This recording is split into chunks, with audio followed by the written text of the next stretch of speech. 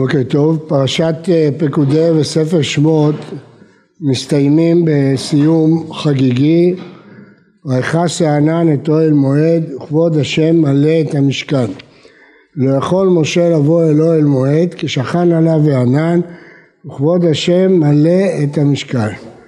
כי ענן השם על המשכן יומם ואש תהיה לילה בו לעיני כל בית ישראל וכל מעשיהם הזכרנו כמה פעמים את דברי הרמב"ן שספר שמות הוא ספר הגלות והגאולה והגאולה מסתיימת רק כאשר הענן שוכן על המשכן כבוד השם מלא את המשכן אז מסתיימת הגאולה כששכינה שורה בישראל. לא ביציאת מצרים, לא במעמד הר סיני, לא בכניסה לארץ ישראל אלא בהשראת השכינה על המשכן מדוע? הנימוק שהרמב"ן אומר הוא מיוחד במינו. אומר הרמב"ן כי אז אל מעלת אבותם ישובו. זה לא פסוק זה ביטוי של הרמב"ן. אל מעלת אבותם ישובו. מה הפירוש? כי האבות היו המרכבה. וספר שמות לפי הרמב"ן זה בעצם שחזור של ספר בראשית מיחידים לאומה מעשה אבות סימן לבנים, מה שהיה בספר בראשית עם האבות קורה בספר שמות עם הבנים, הגלות והגאולה. וכשם שאצל האבות אומר הרמב"ן שרתה עליהם שכינה כי הם היו מרכבה לשכינה כך ספר הגאולה מסתיים ב... מישהו יכול לפתוח את הדלת שם? אה, כך ספר שמות מסתיים בהשראת השכינה על המשכן שאז אל מעלת אבותם ישובו. אז חוזרים ישראל אל מעלת אבותם וכאשר השכינה שורה עליהם ולכן בזה מסתיים ספר הגלות והגאולה. הביטויים שכתובים כאן הם מקבילים בדיוק לביטויים שכתובים אצל שלמה כשהוא השלים את בניין המקדש ולא יכלו הכהנים לבוא מפני הערפל ששכן שם ענן שכן על המקדש. הביטוי של השראת שכינה כפי שהוא מופיע בפרשה שלנו וכפי שאמרתי גם בספר מלכים הוא ענן ואש. ענן השם עליהם יומם ואש תהיה לילה בו לעיני כל ישראל. השילוב של ענן ואש הוא שמסמל את השראת שכינה. כך מצינו גם בהר סיני הוא מראה כבוד השם כאש אוכלת בראש ההר וגם שם חושך ענן וערפל, גם שם יש את השילוב של אש וענן. הביטוי של אש כבר מצינו אותו בהתגלות הראשונה של משה בסנה, הנה הסנה בוער באש והאש איננו קל, גם שם האש הוא סוג של גילוי שכינה. ואצלנו זה שילוב של אש וענן. כך גם במקדש, כך גם בהר סיני. השילוב הזה של אש וענן גם מובטח לנו לעתיד, ככתוב, ואני אהיה לה לחומת אש סביב ולכבוד אהיה בתוכה. גם שם מדובר על חומת אש ועל ענן, על כבוד שיהיה ישרה בתוכה. השילוב הזה ניתן להתפרש בכמה צורות. אה, כמובן שהענן מראה הסתרה. ענן השם על המשכן, בפירוש כתוב, ולא יכול משה לבוא כי שכן עליו הענן, הענן מונע ממנו להיכנס למשכן. בהר סיני חושך, ענן וערפל, ענן מכונה גם ערפל. כך גם שלמה אומר, השם אמר לשכון בערפל. ובכן ברור שהערפל, הענן הזה בא לסמל את לא איראני האדם וחי. אדם לא יכול להגיע בחייו להכרת הבורא. תמיד יהיה ענן, תמיד תהיה מחיצה. ומשה רבנו ששבר את כל המחיצות כדברי הרמב"ן לא יכול לבוא מפני הענן עד שהשם קורא לו ויקרא השם אל משה. דהיינו אדם צריך לדעת שיש עד פה תבוא ולא תוסיף. איפה הפסוק הזה? אני שואל את הבחורים. איוב. כן, עד פה תבוא ולא תוסיף, יש נקודה שבו אה, אה, אי אפשר להגיע, יש גבול, יש גבול לאדם שיכול להגיע בהשגות שלו, בידיעה שלו, בנבואה שלו, ואת הגבול הזה מסמל הענן, הערפל, שגם כשיש התגלות גמורה כמו בהר סיני, כמו במשכן, יש ענן, יש ערפל שמסתיר. לעומת זאת, האש מסמלת דווקא את האור, את ההתגלות, את החום, והשילוב של ענן ואש יש בו שילוב של התגלות והסתרה. כמובן יש באש גם יסוד של יראה, של חרדה, ואני אהיה לה לחומת אש סביב. ומעניין שרצינו את הדבר הזה גם במשכן ובמקדש בכל יום, ובעלות אהרון את הנרות יקטירנה. יש לנו שתי פעולות שהן צמודות אחת לשנייה. הענן והקטורת. הענן הוא דומה לקטורת. המנורה דומה לאור כמובן. תמיד באים ביחד בכל יום, זה עבודות תמידים, המנורה והקטורת. הקטורת ייתכן, אני אומר בזהירות, כי לפי הזוהר הקטורת יסודה אחר, אבל בהחלט אפשר לראות את הקטורת כענן, כמסך, ענן הקטורת, זה ביטוי שכתוב בתורה, ענן הקטורת, הקטורת מהווה מעין מיסוך, מעין ענן, כמו שהיה ענן על הר סיני, כמו שהיה ענן על המשכן, הקטורת הוא ענן מלאכותי, מעין ענן ערפל, כאשר הכהן הגדול נכנס לבית קודשי הקודשים, יש קטורת. הקטורת באה למלא את הבית עשן, כדי ש... יסתיר, לא יחשוב שהוא מגיע להתגלות הגמורה.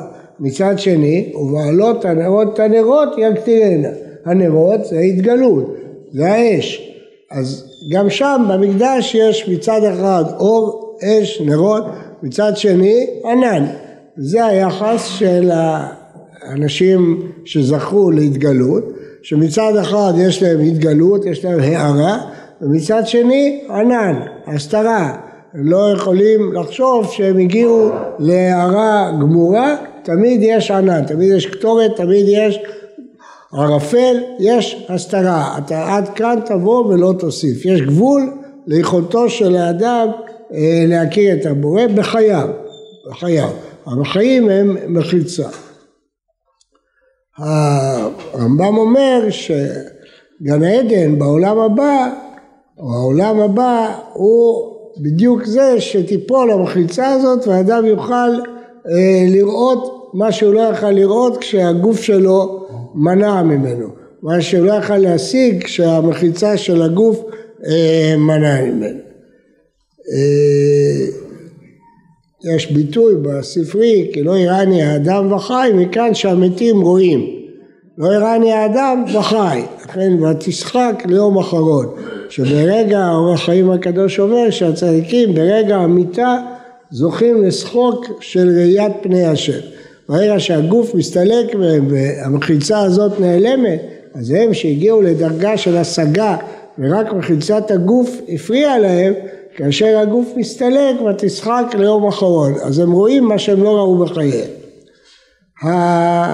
אלה הביטויים שחותמים את ספר שמות. אבל נשים לב לעוד דגש חשוב.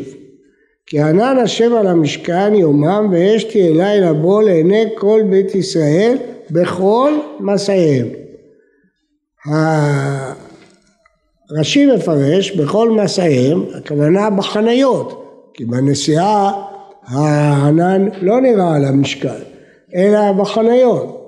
אבל פשט הפסוק הוא בכל מעשיהם ליווה אותם עמוד אש ועמוד ענן מאז היציאה ממצרים ליווה אותם עמוד אש ועמוד ענן והם היו בכל מעשיהם, ליוו אותם בכל מעשיהם.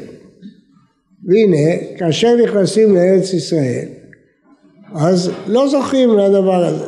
הענן או כבוד השם או השכינה מצטמצמת למקדש לקודש הקודשים שזוכים להיכנס פה פעם בשנה וזהו, אבל בכל מסעיהם של ישראל אין יותר ענן.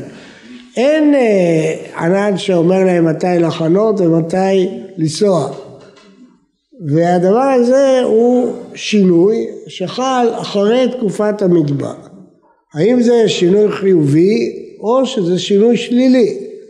האם העובדה שבמדבר הם נסעו על פי השם וחנו על פי השם ואילו בארץ ישראל אין הם חונים על פי עצמם ונוסעים על פי עצמם. האם זה שינוי חיובי או שינוי שלילי? ברור שמבחינה אחת יש פה ירידה גדולה בדרגה. עם ישראל במדבר, ענן השם צמוד עליהם בכל מעשיהם. לעיני כל בית ישראל בכל מעשיהם. אנשים, כל עם ישראל, ראו כל יום את השראת השכינה, ראו את הענן. זה קודם כל מבחינת אמונה, דבר עצום, שזכו כל ישראל לראות את הענן ששוכן עליהם בכל מעשיהם, על המשכן. אחרי שנכנסו לארץ, ועד ימינו אלה כמובן, אנחנו לא רואים, אנחנו לא רואים את התגלות השכינה, אין לנו את הזכות לראות את אותו ענן, כלומר אין לנו זכות לראות כמו שהיה במדבר, אבל זה לא רק הדבר הזה, הרי המן והסלב והבאר והמים, הכל הם אה, תקופת המדבר, שמאופיינת בזה שכל צורכיהם הגשמיים והרוחניים מנוהלים על ידי הבורא, כולל הרוחניים, כולל השגת הבורא, מנוהלת מלמעלה, כמו שאת המן הם מקבלים לחם שמיים, אז גם את האמונה הם מתקבלים בראיית העיניים, רואים את הענן שוכן בתוכם, בכל מעשיהם. למה הדבר דומה? לילד קטן, תינוק שאביו ואמו דואגים לו, אמו מניקה אותו, נושאים אותו, לוקחים אותו, מביאים אותו, הוא משלו אין לו כלום, הכל נעשה מלמעלה. אבל כל אחד יודע שזה לא התכלית, שהילד צריך להיגמל מהיניקה, שהילד צריך להתחיל ללמוד ללכת לבד, שבשלב מפורסם הבחור צריך ללמוד לפרנס את עצמו, אומנם כל זמן, כל תקופה השלב הזה נדחה עוד קצת ועוד קצת, אבל אה, בשלב מסוים אה, גם אה, היום אדם צריך לפרנס את עצמו, אי אפשר לדאוג לו כל הזמן, להפך זה חיסרון, זה חולשה, זה ליקוי, אם הבן כל הזמן זקוק לאביו ואימו והוא לא נגמל מהם. אותו דבר ברוחניות. תקופת המדבר היא תקופת הילדות של עם ישראל, הינקות של עם ישראל, ולכן כל צרכיהם הגשמיים מסופקים כמו שתינוק הוריו דואגים לו. אבל מה שהחידוש פה שלא רק צורכיהם הגשמיים, גם הרוחניים, ענן השם עליהם בכל מעשיהם, הם נוסעים על פי השם, חונים על פי השם, השם אומר להם מתי לנסוע, השם אומר להם מתי לחנות, אבל הם נגמלים מזה, כשהם באים לארץ הם צריכים אכלת ושבעת, אתה צריך לזרוע, לחרוש, בתים טובים תבנה וישבת, אין מן, לא מצב של אוכלי המן. הדבר הזה שנעלם בגשמיות גם נעלם ברוחניות.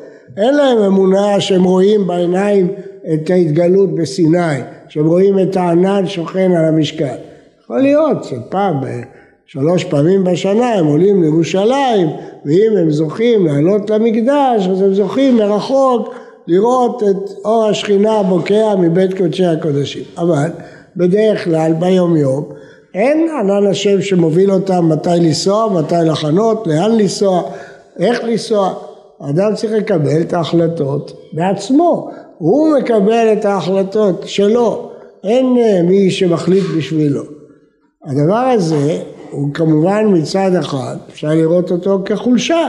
תינוק לא צריך לעבוד, לא צריך להתאמץ, הכל מוכן לו, כולם דואגים לו. אבל אנחנו יודעים שמצד שני זה התבגרות, זה יתרון, כאשר אדם עומד על רגליו. אותו דבר מבחינה רוחנית. כאשר ישראל עומדים על רגליהם, אין ענן השם שמדריך אותם, אז באופן טבעי אנחנו חושבים, או, כמה זה חסר לנו. אם היה היום ענן השם היינו יודעים להילחם או לא להילחם, ללכת, לא ללכת, לעלות לארץ או לא לעלות לארץ, אם היה לנו ענן השם, היה מוביל את כל עם ישראל אולי לארץ ישראל עוד לפני השואה. אנחנו לא יודעים, היינו צריכים לקבל את ההחלטות בעצמנו. אז זה נראה כחיסרון גדול, חסר לנו. אבל האמת שזה לא חיסרון, זה התבגרות. כמו שתינוק מגיע לשלב שהוא צריך להחליט אם ללכת לאיזה מקום או לא. לא ההורים מחליטים אם לקחת אותו או לא. אז גם עם ישראל מגיע לשלב שהוא מגיע לאמונה בכוחות עצמו, הוא מקבל את ההחלטות בבחירתו החופשית, בכוחות עצמו. הוא לא יכול להישען כבר אוטומטית על ענן השם. אבל חשוב מאוד להבין שתקופת המדבר מראה לנו שבעצם צריך לנסוע על פי השם ולחנות על פי השם. על פי השם יחנו ועל פי השם, אבל אין מי שאומר לנו את זה. זה צריך להימשך. צריך להימשך שאדם ידע שהאוכל הוא משמיים, אבל הוא לא רואה את זה כמו המן. הוא רואה שהוא זרע את החיטה וקצר אותה ועשה מזה לחם ואכל, הוא לא רואה שזה מהשמיים, הוא צריך לדעת שזה מהשמיים, אבל הוא לא רואה כמו שהוא רואה במן. אז אותו דבר מבחינה רוחנית. הוא צריך לדעת שעל פי השם יחנו ועל פי השם יישאו. הוא צריך לדעת ללכת בכל המהלכים שלו על פי השם. אבל הוא לא רואה את זה. אין מי שמוביל אותו, אין מי שמוליך אותו. צריך לקבל בעצמו את ההחלטות. וגם באמונה. הוא לא רואה את ענן השם, הוא צריך להגיע להשגות שלו מתוך עבודה אישית, מתוך אמונה עצמית, שאמונה שיש בה ניסיונות ויש בה עליות וירידות, אבל מתוך הבנה עצמית שלו, ולא מתוך ענן השם ששורה עליו. והדבר הזה מאוד מאוד בולט בדברי החכמים שאומרים שאברהם אבינו הכיר את בוראו לבד. ואומר הרמב"ם, ולא היה לו מורה ולא היה לו מדריך ולא היה לו נבואה, לא היה לו כלום. הוא מעצמו הכיר את הבורא. אמרנו שהגאולה זה לחזור למעלת אבותם. רואים שזאת הדרגה הגבוהה. הדרגה הגבוהה לא כשנבואה נגלתה לאברהם, אלא שהוא הכיר את בוראו מעצמו, משכלו, מהשגתו, בלי שנביא אמר לו את זה. הוא הגיע להבנה הזאת מעצמו, וזאת הדרגה הגבוהה. לכן כשאנחנו מתרגשים בצדק ומתפעלים בפסוקים האחרונים של ספר שמות, ענן השם עליהם וכל מעשיהם, צריך לדעת שזה שאחר כך נפסק הענן זה לא רק ירידת הדורות, זה לא רק חולשה, זה התבגרות, זה הגעה לשלב שאדם מגיע לאמונה בכוחות עצמו, לא בגלל שהוא רואה ענן, אלא שהוא מבין את האמונה, משיג את האמונה בכוחות עצמו. יש דברי רמב"ם במורה נבוכים נפלאים, מקוריים מאוד, שמסביר את הגמרא במכות, הגמרא במכות אומרת תורה ציווה לנו משה תורה בגימטריה תרי"א, איפה עוד שתיים? אנוכי ולא יהיה מפי הגבורה שמענו, את זה שמענו מפי השם. אז בפשטות מפרשים, כי את האמונה צריך לשמוע מפי השם בעצמו, לא יהיה לך אלוהים אחרים על פניי, אנוכי השם אלוהיך, אי אפשר לשמוע את זה ממשה. אבל הרמב"ם במורה נבוכים אומר בדיוק להפך. אומר את כל המצוות אתה צריך לשמוע מנביא, משליח, אתה לא יכול לדעת לבד. אבל האמונה אתה צריך לדעת בעצמך, אתה זה, לא, לא צריך לדעת את זה מפי שליח, אתה לא צריך שמשה יגיד לך שאנוכי השם אלוהיך, אתה צריך לבד לדעת שאנוכי השם אלוקיך, אתה לא צריך שמשה ילמד אותך את זה, כי אמונה באל אחד כמו שאברהם אבינו גילה מעצמו, כל אדם צריך לגלות מעצמו, אומר הרמב"ם. אז לפי זה, נכון שזו דרגה מאוד מאוד גבוהה, שענן השם בכל מעשיהם, אבל זה גם שלב הילדות של עם ישראל. והשלב הבא הוא כשהם בעצמם צריכים להשיג, הם בעצמם צריכים לקבל את ההחלטות, אף אחד לא יכול להחליט בשבילם. ברוח הימים האלה, אז נזכיר שזה אחד הרגעים המלאי המתח ביותר במגילת אסתר, הרגע המותח ביותר שאסתר מתלבטת, היא שולחת למרדכי, מה לעשות, לגשת למלך או לא לגשת למלך, היא יודעת, אחת דתו להמית, ורק היא צריכה להחליט, אין מי שעוזר לה, אין מי שיגיד לה, אין סנהדרין שיפסקו לה ואין נביאים שיגידו לה, היא צריכה להחליט האם היא מוכנה למסור את הנפש בשביל להציל את העם שלה או לא, וההחלטה היא שלה, אז אין ענן השם שמדריך אותה, היא לבד צריכה להחליט. אז אפשר לראות בזה חולשה של ירידת הדורות, שדור המדבר היה דור גדול, גבוה, אבל אפשר לראות את זה ההפך, שדור המדבר זה היה דור של ינקות, שהיה צריך שהכל יהיה לו מלמעלה. אבל כשהרם מתבגר הוא צריך להגיע בעצמו לאמונה, בעצמו הוא צריך לגלות את השם, בעצמו הוא צריך לדעת לאן לחנות ולאן לנסוע, לפי הבנתו, הוא צריך לדעת שזה על פי השם, אבל לדעת שהוא לא רואה את זה שזה על פי השם, אלא אה, הוא אה, קובע את המסעות והחניות בעצמו. שבת שלום ומבורך.